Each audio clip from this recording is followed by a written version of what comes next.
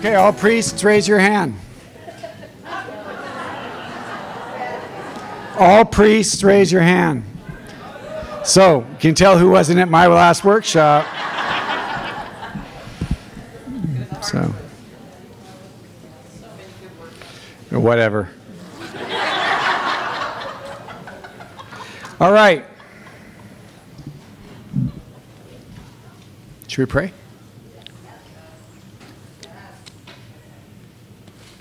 Great, let's pray. In the name of the Father, the Son, and the Holy Spirit. I just invite you to quiet yourself for a moment.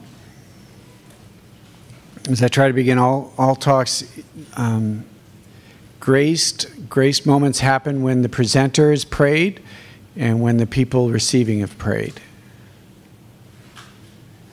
So it's not merely the responsibility of me, but we come together and we ask that God would bless us and show us.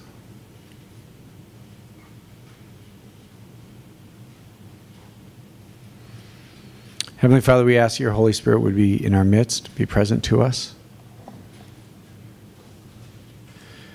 that our hearts and our minds would be open to you.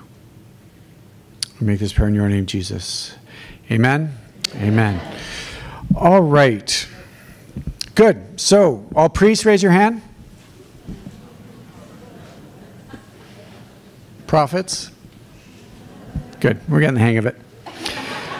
So, um, so what, what we're going to talk a little bit about this afternoon is penance, but specifically from kind of the perspective of St. Francis. So, this uh, January, I released a new film called The Sign of Contradiction. Just curious, who's seen that film so far?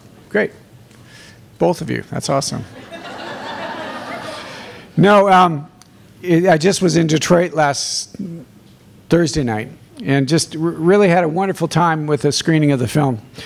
And one of the lines of St. Francis is perfect joy is when you go to a friary, you knock on the door, and they send you away, and you have to walk away. And that's perfect joy for the friary, for the friar.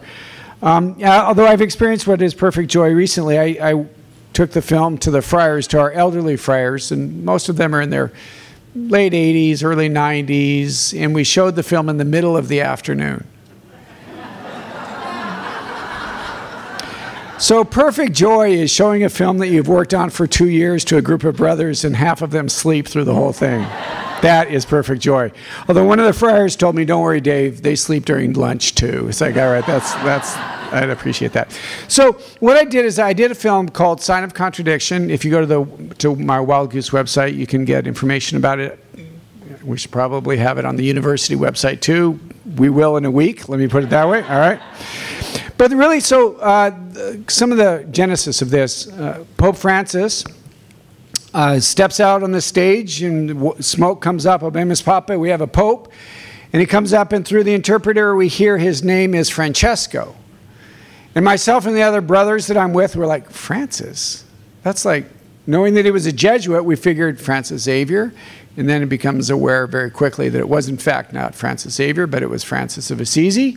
Before he, he went um, out, once he was elected, somebody said to him, Francis, or, uh, uh, George, remember the poor? Jorge, remember the poor? Uh, and he chases, takes the name Francis. So I begin to ask myself, why at this time? You know, it's never happened before 800 years, it's never ha happened before. Why now? Why might it be that he takes the name Francis? Around the same time, I'd taken a group to Assisi, and I take uh, groups to Assisi all the time. And what I hear all the time is something similar, and it is something to the effect of Francis is so much more than I expected. Right? We have this idea of who St. Francis is, but he's so much more than that. And I suggest whatever that is, however you see Francis, that he's more than that. Somebody said to me one time, Francis is more than a bird bath. Yes, yes, yes, he is, right? And as we were making this film, uh, I was we were out to actually in Assisi out to dinner, and the waiter who was taking care of us, uh, I had asked him. I said, "You know, why are you in Assisi?" He was from Ukraine, and he said, "I love Francis." And he goes through this big thing about how he loves Francis. But then at the end of his little explanation, he said, "But I'm but I'm not into Jesus. That whole Jesus thing, that whole Christ, that whole Catholic thing, I'm not into that at all. which is really the reason we made the film, is if you think you understand who Francis is, exactly. Thank you very much. But don't know Jesus, then we don't know who Francis is. I mean, what animated Francis, and, and Father Cantalamessa is a part of the film, and he says that somebody asked him one time, What's more important to you, Francis or Jesus? And, and Cantalamessa says, You got to be kidding me. Francis is nothing without Jesus. So, what our desire in the film was to be able to, through the lens of Francis, to be able to encounter Jesus. Amen? And one of the main ways that Francis did this, in encountering Jesus by, was by living penance. So this is supposed to be a workshop, which means I'm supposed to ask, ask you guys questions and you're supposed to answer and we're supposed to have dialogue. Amen? so when you hear the word penance, what do you hear? I mean, what do you think of when you hear the word penance? Sacrifice. Okay, somebody raise your hand. Come on, come on. Yeah, yeah. Sacrifice. Sacrifice, all right. Confession? Redemption. Redemption? Sin? Sin? Giving, up. Giving up something, all right. Changing? Fasting? Prayer? Prayer? This is an overachieving group, I might add. Yeah, yeah. What's that? Reparation. Reparation? Great, great. All of that's true, okay? But we really want to be able to take a look at what this idea of penance meant to Francis and what does it mean that Francis says, live penance? And what that might look like for us. Because one of the things we wrestled with as we're making the film is we don't merely want, okay, that was nice, somebody go, they enjoy it, but that it actually impacts and brings about change or brings about penance in our life. And it causes us and invites us to have a different understanding of what, what is penance or what is the traditional understanding of penance. The beginning of the scriptures, uh, Jesus comes onto the scene, and the first thing he says is um, repent. The word he uses, is metanoia. Metanoia, the kingdom of God is at hand. This idea of metanoia is a really, really rich word. Uh, it means, honestly, all the things you just said. Really, if we were to put together all of the things you just said, that's kind of what metanoia means. It means repent, and that's the way it's translated in most versions. Uh, it means, the, actually, the Greek is to change. So Jesus is saying, change, the kingdom of God is at hand. It means conversion. In fact, probably the better understanding or the way we would understand penance would be conversion. Jesus saying, Be converted, the kingdom of God is at hand. This idea of metanoia is actually the main charism of my Franciscan community. So, Francis started three Franciscan communities. I like to say it took him three times to get it right. So he started three, and we are the third order regular. And metanoia is this main charism of my particular community. It is also the follow up. I've done a a follow-up video series to the Wild Goose, and the, this new series is called Metanoia, uh, inviting us to look and to reflect about what does it look like for us to be converted? What does it look like for us to be able to experience conversion?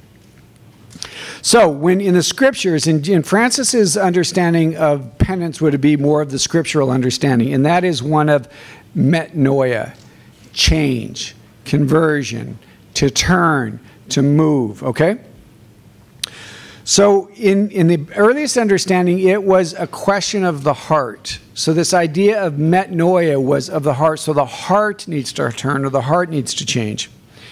In the fourth century, we begin to see kind of a shift of the understanding of penance. Penance becomes a less of an internal reality and more of an external reality. And the reality is, for most people, except for this overachieving group, penance is largely an external experience. You go to confession, you're given a penance, you do something and you're done with it, right? It has a beginning and an end. That would not have been Francis's understanding of penance. Francis would understand penance not as a beginning and end, but rather as a way of living. It's a way we go about life.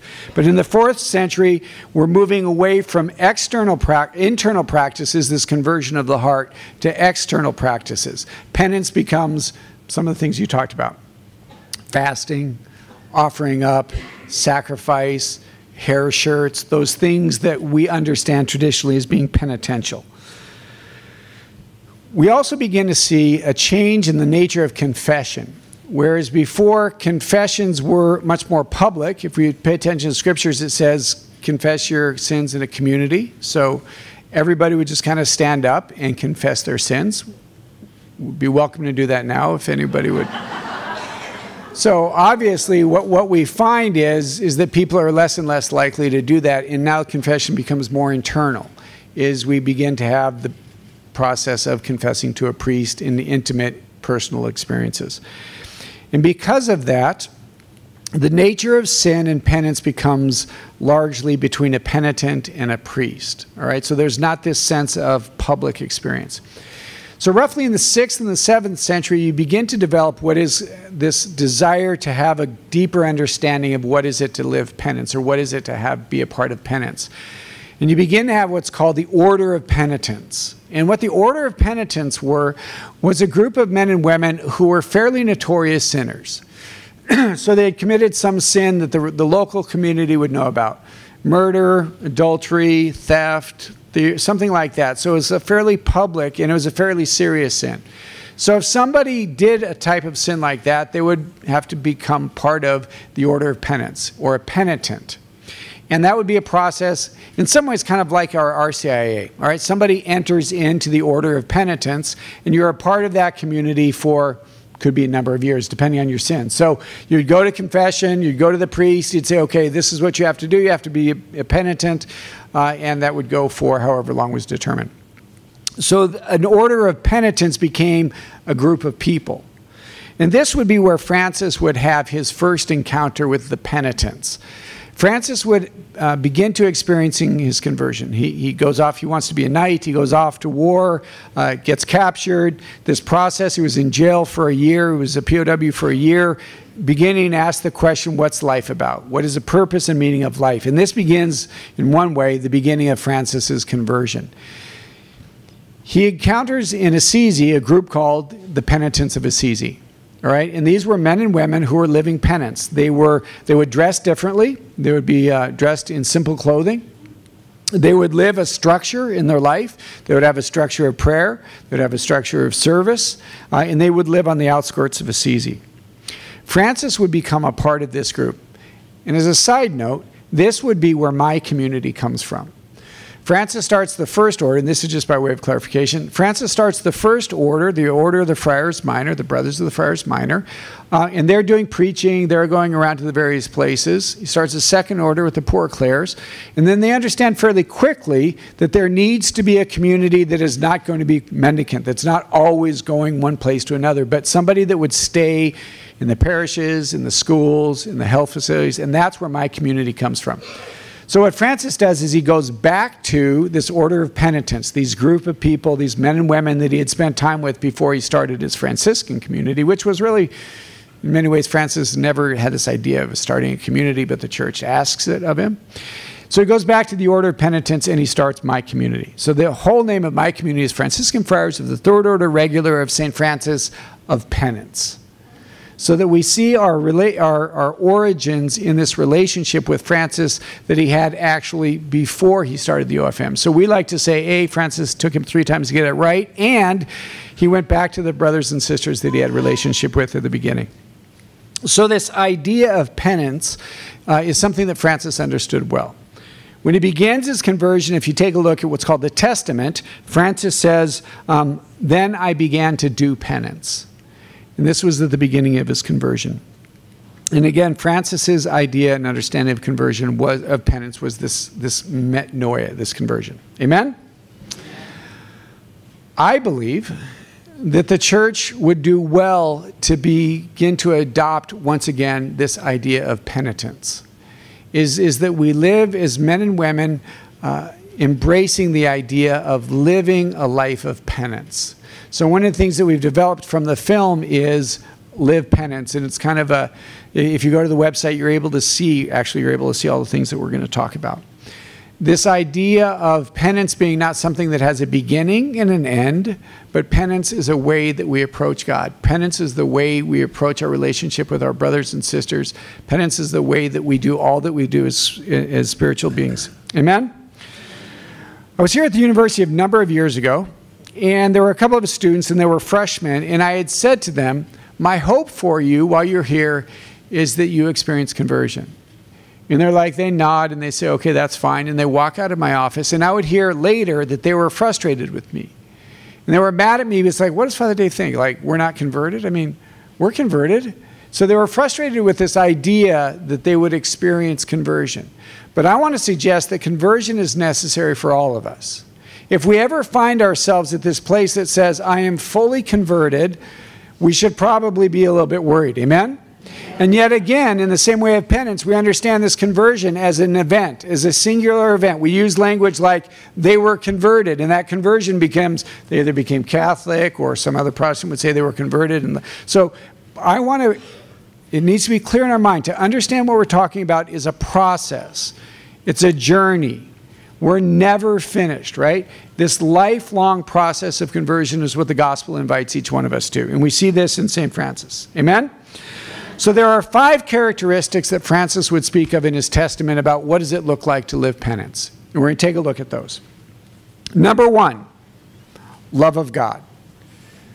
At the heart of everything that Francis did, it is all rooted in the reality uh, that God loves and that we love God.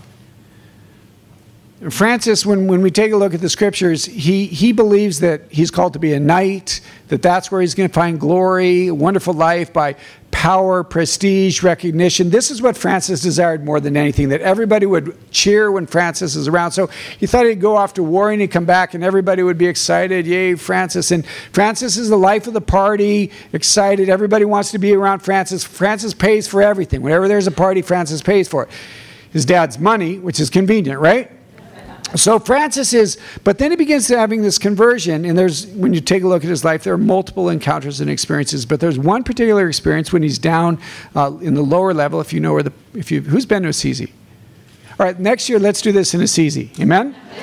Yay! All right, may it be so.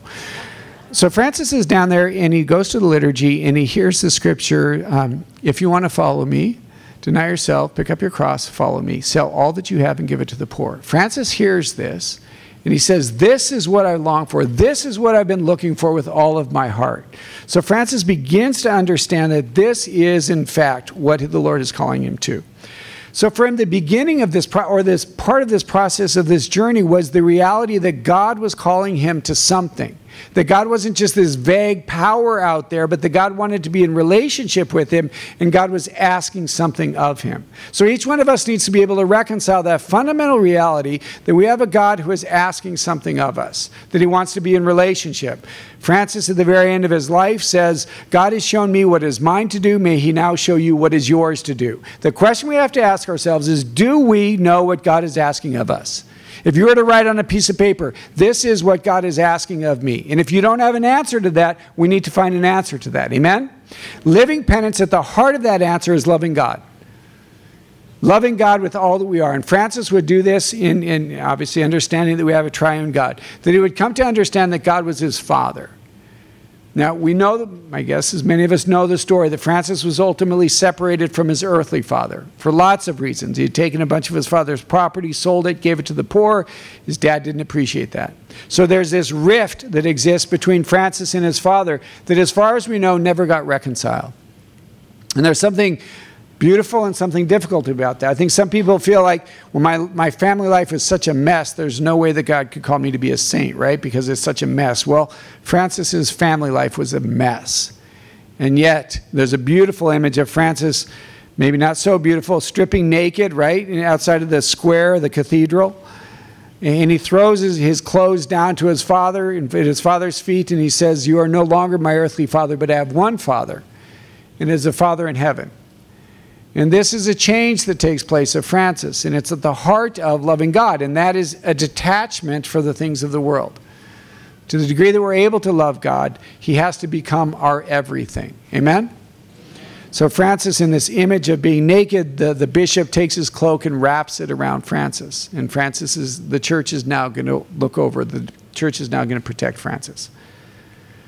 Francis will ultimately be able to say, and this is one of the texts that, that I find beautiful and also unbelievably challenging. Francis says, Oh God, you are enough for me. Oh God, you are enough for me. I find it interesting that Francis didn't say, God, you're everything.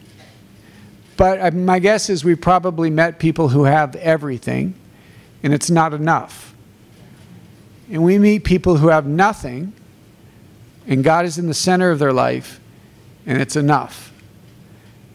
For Francis, God becomes enough. A famous scene of Francis in the evening, one of the friars is outside of his door listening to how Francis prays, and all night all he said was, My God and my all. My God and my all.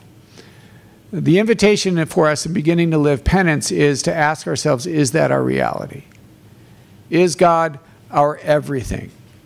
Um, it was mentioned last night by Chris that I walked the Camino. I walked 500 miles in order to just thank the Lord for being a priest. But the very first night, the prayer that I made was a really simple prayer and also a very foolish prayer. And I said, God, I give you permission to do whatever you want to make me holy. Do not pray like that, right?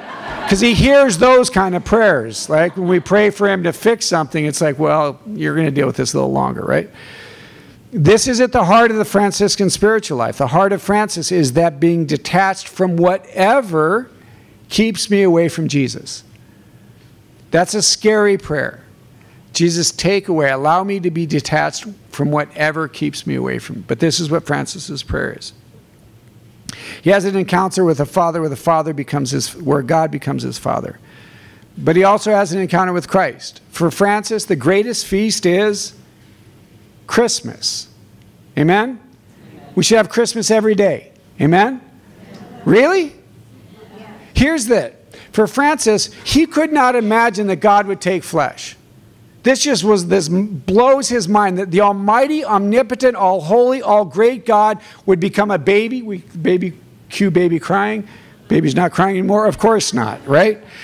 Francis couldn't imagine this. Uh, so we have the beginning of the creche scenes and the nativity scenes. It's Francis who started this. He goes to a little village about an hour away from Assisi called Greccio, and he has this image, he has this desire to be able, if people could see what God has done, they would be converted. If we could see what God has done, so he, he creates this image with, with the animals and the nativity scene. And somebody that night had this image of, of Jesus, the baby Jesus, being asleep, and everybody was trying to wake him up, trying to wake him up.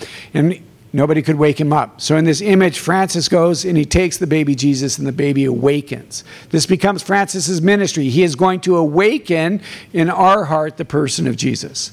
For Francis, Christmas is the feast because it is profoundly, profoundly personal that God would take on flesh. That God would, as we hear in the Philippians, God would empty himself and become one of us then we'll talk about this in the last element of, of, penance, but this idea of emptying ourselves, this detachment, is at the heart of what does it look like for us to live penance. Amen? So Francis encounters the Father, and Francis encounters the Son. And then ultimately, Francis would say the friar should, one, the friar should desire one thing alone the Spirit of God at work in him. So Francis encounters God as Father, he encounters God as Son in the person of Jesus, and he encounters the Spirit which animates, which begins to animate and make everything that we're going to talk about alive for us. Francis, if you look at his story, all of the major events in his life are begun and concluded by an encounter with the Spirit of God. So he's not able to do anything without him. Amen? Amen. So we ask ourselves, just take a moment and quiet yourself. Who is God for us? What is the image we have of God? What is the image we have of God that's not true?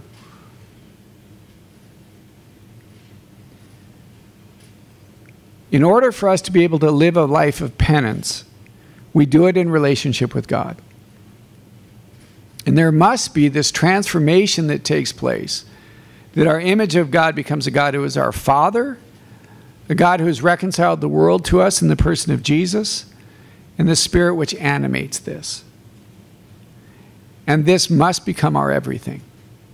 It must be in the center of our life. Amen? Amen? Number two, first one, love of God. Number two, love of neighbor. To live a life of penance. So for Francis, the group of people that bothered him the most were the lepers because they represented everything that Francis hated and everything, nothing that he wanted. So lepers had no power, they had no influence, they had no respect, they had no authority. The lepers would live in the, so Assisi's kind of up on a hill. The lepers would live down in the valley, and Francis would never go there. Scripture, uh, or the Testament says that Francis was repulsed by the lepers. So he's praying one day, and he hears the Lord say to him, I can make that which is bitter sweet. Okay, I can make that which is bitter sweet. And Francis knew exactly what that was. So the story of Francis walking through the valley and he's, he's coming upon a leper, and everything about him wanted to go the other direction, and he embraces the leper. And he encounters Christ in that. And he spends the rest of his living days with the lepers because God made that which was bitter sweet. People talk about Francis in his joy, in his peace, and all of that, and they say, What was it? I want to suggest that this was at the heart of that. Imagine for a moment there was nothing in your life that was bitter and that all was sweet. And do you believe in a God that can make that which is bitter sweet? So, part of this love of neighbor that we have to ask ourselves is who is that leper for us? Because everybody has a leper.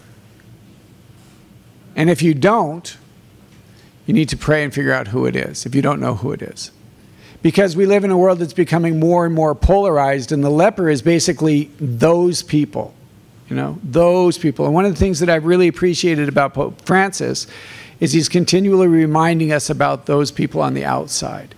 And he reminds us that everybody is invited to Christ. Amen? Amen. Who's invited?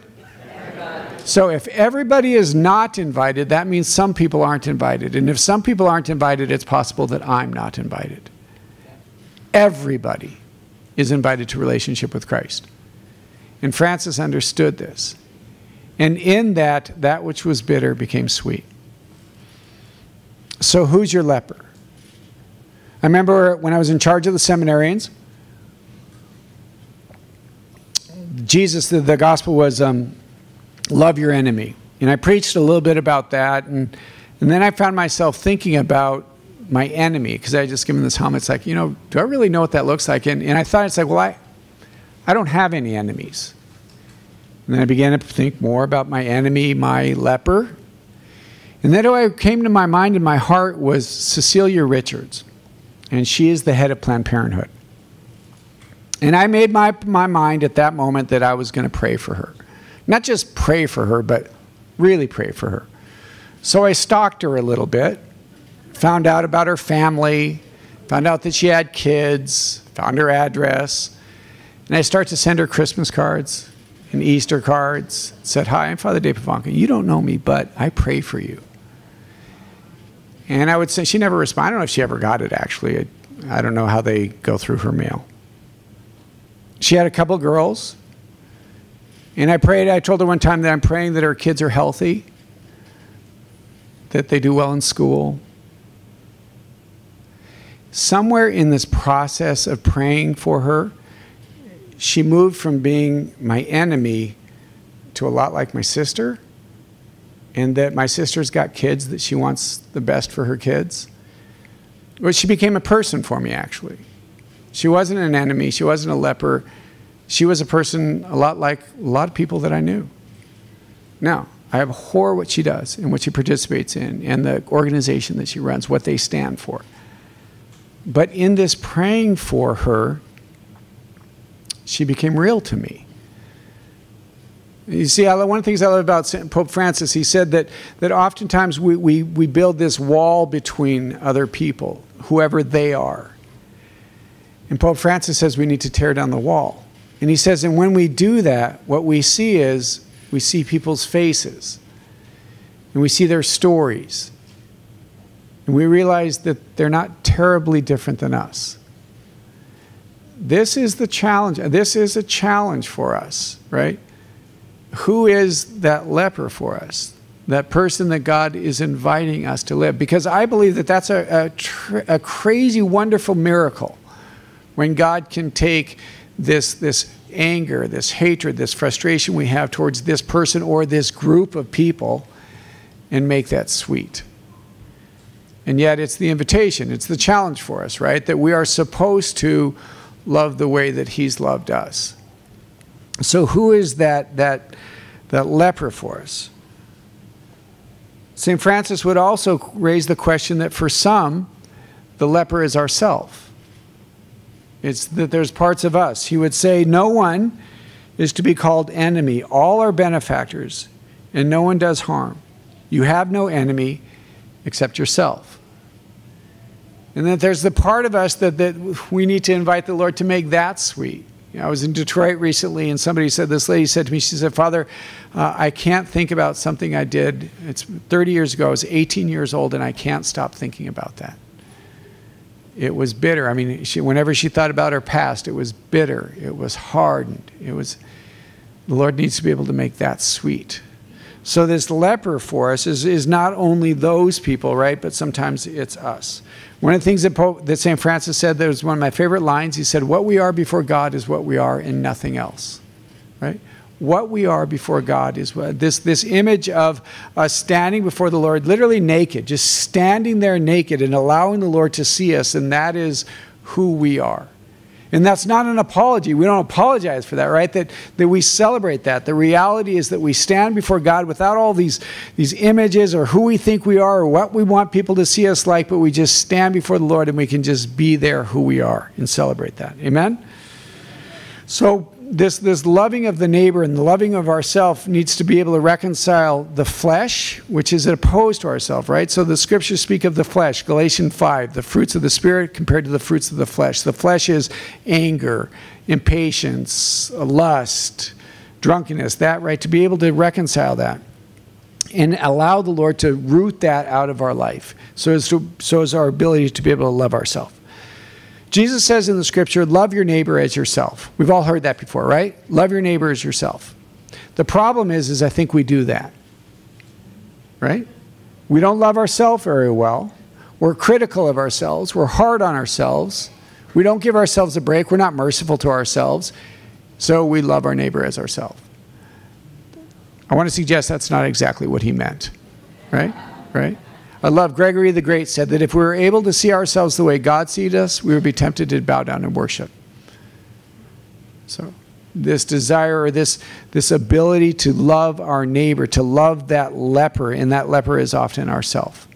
So, to be able to allow the Lord to reveal to us our goodness, our beauty, and then be able to embrace that. Amen? Number one, love God. Say that. Number two, love our neighbor. Love our neighbor. Number three, uh, hatred of sin. We'll get back to that one. So Francis is uh, up in the caves. So if you're in Assisi, you go to the Carceres to these caves that were up in the hill. And then Francis is praying up there, and he, we don't know exactly what this looked like, but he saw his sin. And this changed Francis. You see, for Francis, Francis wanted to be in the center of his life. And what he realized was that he needed to move away from the center and put the Lord in the center of his life. For Francis, sin was ignoring God, ignoring the one who wanted to be in the center and putting himself in the center. One of our friars was at a doctor's office one time. And he was in line and is literally standing three feet from the receptionist. And the receptionist looked at him, didn't recognize him, didn't say hello, didn't say welcome, and just started back to her work looked up at him, did not greet him, went back to his work. He felt profoundly ignored, right?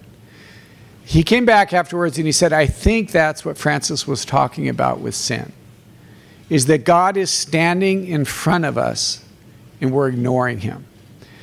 It's interesting to be in Rome. Uh, I've had the opportunity to go to Rome several times, and you would think being in Rome is the best place to be a priest, and that's not necessarily true.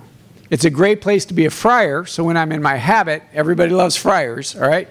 Not necessarily everybody loves priests, because particularly in Rome, you have uh, 2,000 years of priests not always doing the greatest things. At an occasion one time, I was dressed in my clerics. I was flying home, so I was dressed with the collar and all that. Busy coffee counter. Uh, the guy taking everybody's order, this order, this order, this order, skipped me. This order, this went on for 15 minutes. And I'm just, all I wanted was a cup of coffee. The guy making the coffee finally recognized what was going on and he said, Father, what would you like? I said, just want a cappuccino. He said, okay. I do that to God all the time, right? God is in the center in front of me and I ignore him. I don't see him. I don't give him time. I don't recognize him. This for Francis was sin.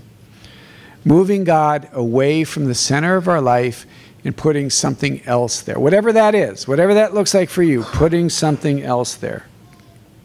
But what moved Francis to conversion was the experience that he had in this cave of a deep understanding of the, of the sinfulness, of his sinfulness, but understanding deeper than that was God's love. Francis came out of this cave changed because he encountered a God who loved him in the midst of his sin. But what it called him to, what penance calls us to, is a, a desire to change, right? So I, I um, put up a thing on Instagram a couple of months ago where it, it was the encounter between Jesus and the, and the woman who was caught in the act of adultery. And Jesus said, uh, I, I do not condemn you, right? So I just put it that. I said, Jesus doesn't condemn us. Now, I appreciate people's uh, exuberance, but I had many people who were frustrated with me because I didn't mention that Jesus said, Go and sin no more. I am well aware that Jesus said, Go and sin no more. Amen? But he also, what, what, what changed her was that she wasn't condemned, right? So until we experience a God who loves us and doesn't condemn us, we don't have the grace to go and sin no more. We first encounter a God who doesn't condemn us. And this is what changed Francis. Was he recognized his sin and realized that God loved him more and because of that, then he desired to root out his sin. So we have to pray brothers and sisters for in hatred towards sin. Not, not because of itself, because the reality is everybody here has sinned. Amen? Anybody who's not sinned? Good. I thought you were raising your hand, Emily. You, you, no, you're just scratching. I see you're just scratching. I thought for a second it was going to go up. I said, this is great. And this is important for us to recognize is that we've all sinned. Ultimately, sin does not keep us out of heaven, right? Heaven is full of people who have sinned right? Every one of them. It's one of the few things that all the saints have in common is they were all sinners, except for the Blessed Mother, always throws a curve, qualify that. Right? What keeps us out of heaven is failure to repent for sin, failure to recognize sin, failure to go before the Lord and say, Lord, show me my sin so that I don't live in it. Because the reality is, is if we live in our sin, we're going to die in our sin. And if we die in our sin, our salvation is in jeopardy. So, the nature of sin is that God, in His mercy, reveals us and shows us our sin so that we can be converted. So, it's the third element. This, this element of living in penance is to continually go before the Lord and ask Him to show us our sin. Amen? Amen. Number one, love God. Number two, love neighbor. Number three, uh, hatred of sin. Number four, participation in the sacraments, particularly the Eucharist. So again, for, for St. Francis, this, this idea that God takes on flesh, that he empties himself and he becomes one of us. So we would have the nativity scene. But the early nativity scenes would have a crib underneath the altar, but the baby Jesus wouldn't be there. Right? And the reason being is Francis understood that every time we celebrated Mass, that Christ was going to occupy that crib once again right? Francis, again, the, the Father Cantalamessa speaks in the film that one of the unique elements that Francis brings is to invite us to reflect on the humility of God. And he said that God would humble himself and become a baby, which is remarkable. If you think about that, God, the Almighty, omnipotent God, is now needy, needy, needs to be changed, needs to be fed, right? This, this humility that there is in that. Francis would go on to say, take that same God who becomes one of us and allows himself to be crucified. Just the abject humiliation that there is in that. Stripped naked. We, we put a cover over Jesus so that it's more, more acceptable to our eyes. Jesus literally stripped naked above a group of people, nailed to a cross for all of the world to scoff and laugh, all right? Francis, this is unbelievable that God would humble himself and be crucified. And then the final for that would be Francis, that God would humble himself in Eucharist. That he would come to us in what looks to be bread, and that he would become so profoundly vulnerable that I can take this host, which has been transformed into the body of Jesus, and I could do whatever I want to that. for Francis, this is, this, this is more than he could imagine.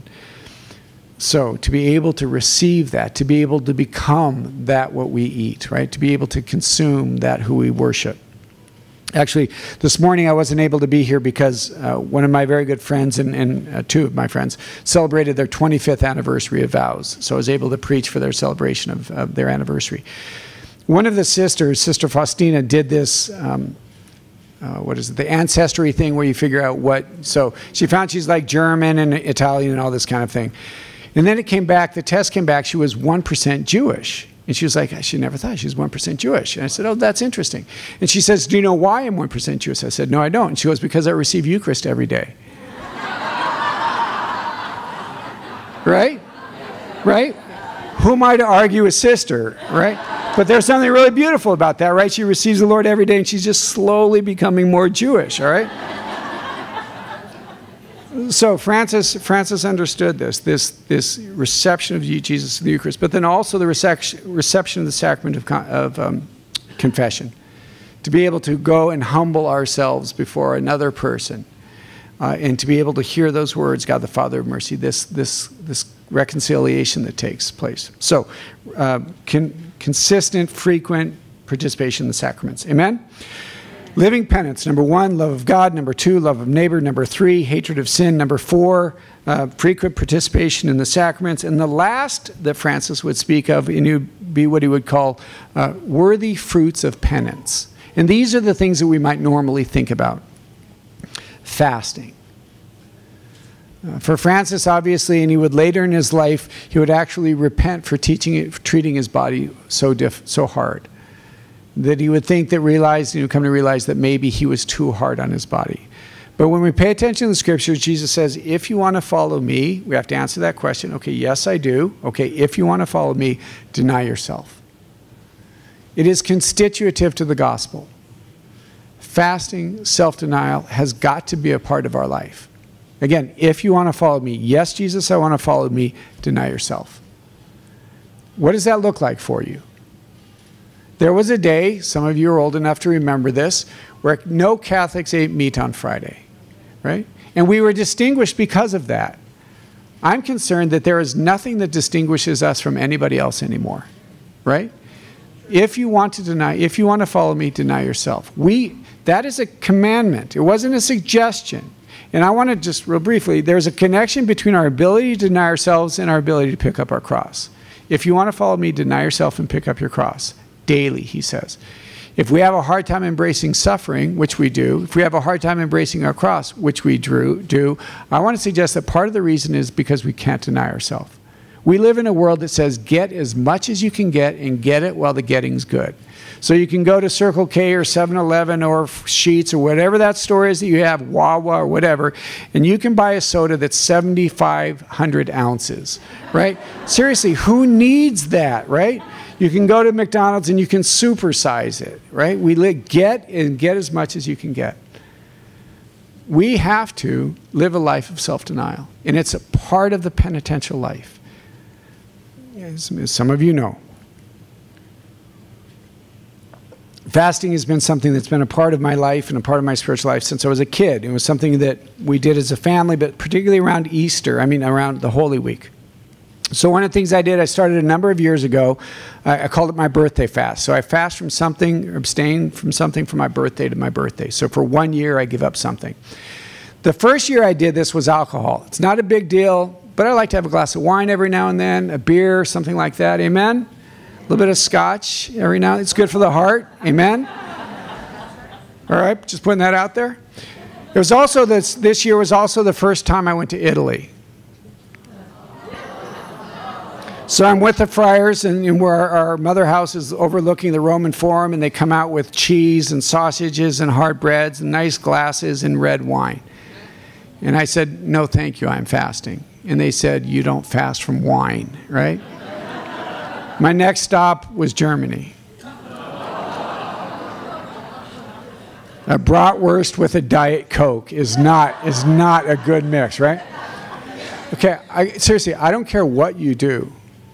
But a life of self denial has got to be a part of the Catholic Christian life. So I invite you to think and reflect about that. What does that look like for you to deny yourself? And the danger is that we only, we only look at food. There are lots of ways that we can deny ourselves that have nothing to do with food. What I'm about to say is crazy talk, but I'm going to go ahead and put it out there. You're in the grocery store, get in the longest line. I know, crazy talk, right? Stay in the slow lane on the highway. Park 30 feet further away. Take the stairs. What are simple, get up 15 minutes early.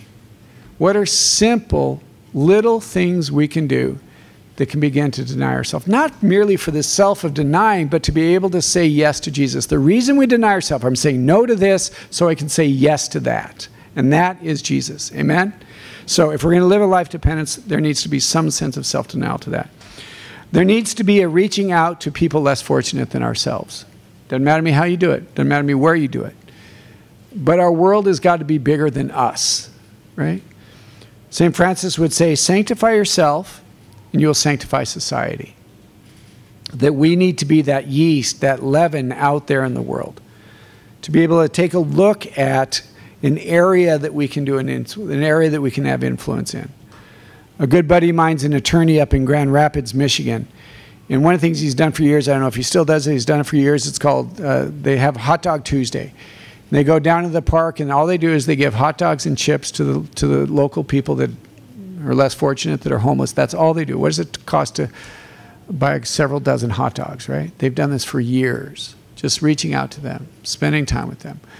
There are people in your community that need us, need you to reach out to them. It has got to be a part of the Christian life. Living penance is reaching out to those people that are less fortunate than ourselves. Amen? Amen. It's prayer.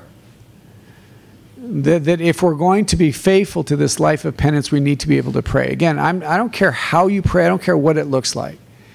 But if you aren't praying every day, if that's not a part of your life, how are we being converted? How are we drawing closer to Jesus? How are we experiencing change in our life unless we're making ourselves available and present to Jesus?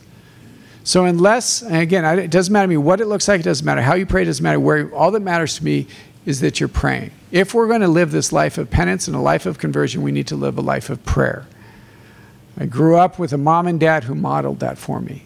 I would love to have a dollar. My mom's got MS, but so she couldn't feel the beads on a small rosary. So she used this rosary that you like hang up on a wall, right? I'd love to have a dollar for every time I walk into her room and she was sitting on a bed with the rosary draped over her lap praying her rosary, right? Uh, she didn't do it so that I would see her. She did it and I saw her. What does it look like for you? Does, do your, does your family, your children, your whatever, do they know that you pray? When you speak, do you speak like, well, I think the Lord wants me to do this, right? This gives witness to a world that needs to know that there's something other than them, right? The center of their life. Ultimately, this invitation that the Lord has is an invitation. This relationship of prayer is to worship, to lead us to worship. We're going to pray for worship tonight. If you want to understand somebody, ask them what they worship, right? What do you work? Everybody worships something. Everybody worships something. If you want to understand what's important to a person, find out what they worship. What the Lord invites us in prayer is to be able to be quiet and to be able to still and encounter and worship Him. Amen? This life of, the life of penance, I think, what the Lord is inviting us to. So, thoughts, comments, questions, reflections? Yeah.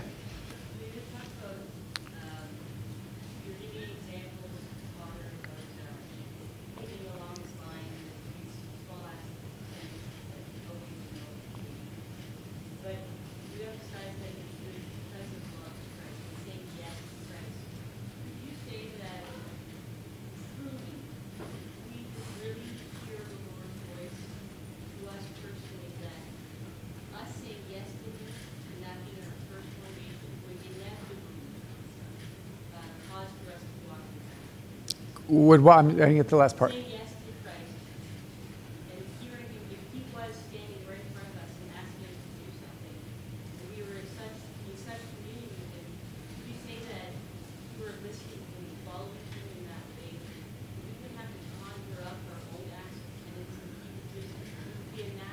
No, and I think that's what takes that's that's the process of metanoia, the process of conversion is that we don't merely do things out of an exercise, but it becomes how we are. It becomes our natural way of relating. I think that's why the, some many people call Francis the mirror of Christ. That he became so conformed, so that he didn't think about things anymore. It was just the way he behaved and the way he acted. People. That's, that's the purpose of that. That it becomes habitual rather than merely an element that we add on to to exercise. Yeah, yeah, good. Other thoughts, comments, questions? Nope. Okay, uh, let's pray then, and I'll stick around to see if people have sense. So why don't we stand?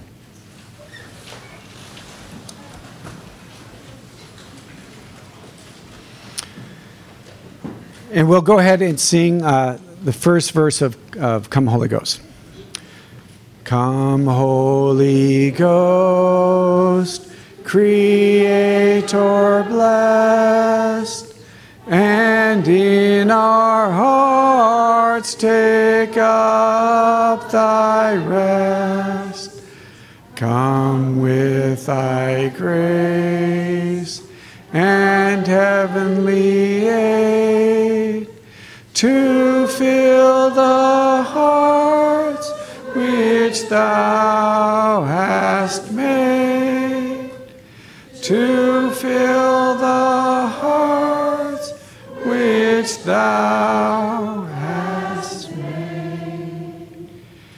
Just invite you to quiet yourself for a moment and to allow yourself to be emptied. What is it that, that vies to be in the center of your heart right now? Fear, relationships, struggle with parents, sickness. So, just for a moment, whatever that is, just recognize it and say, Jesus, I lay it before you.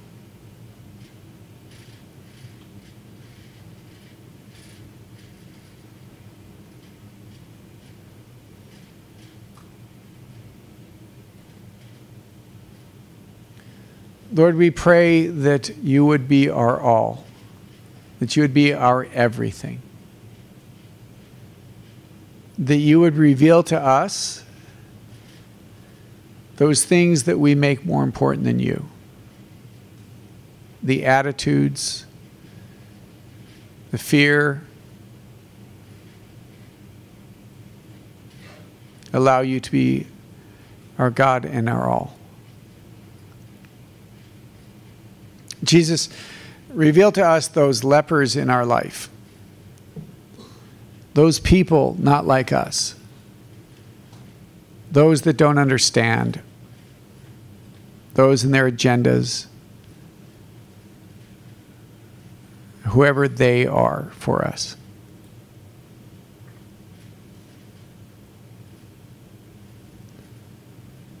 Jesus, help us to look at other people the way you did. Because just with a glance, you changed hearts. And so oftentimes we look at people with disgust, with disdain, with judgment. Help us to see them as you did. Lord, root out sin in our life so that you might be glorified and that you would reign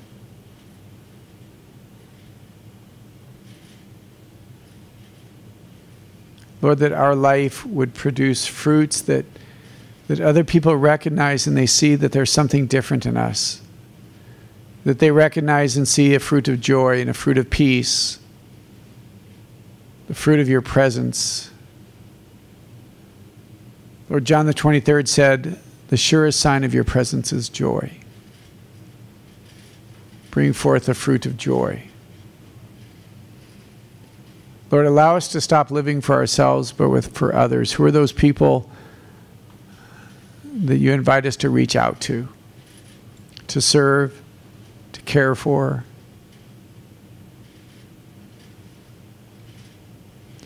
Just take one moment, and what's the one word you take from this meet, from this uh, afternoon? What is what, one word that the Lord is saying to you? One thing that you're going to hold on to.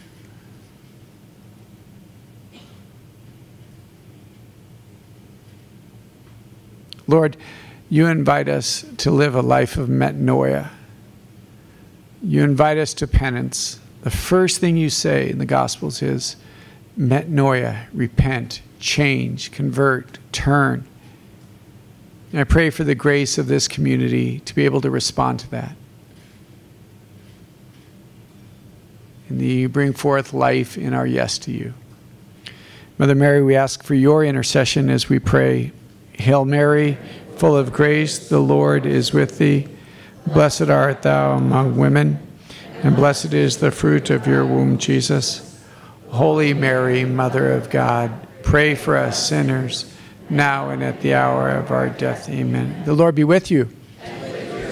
May Almighty God bless you, the Father, the Son, and the Holy Spirit. Amen. God bless you guys. You got it the rest of the afternoon. Free dinner. I don't know what else is going on. Just go do something. God bless you guys.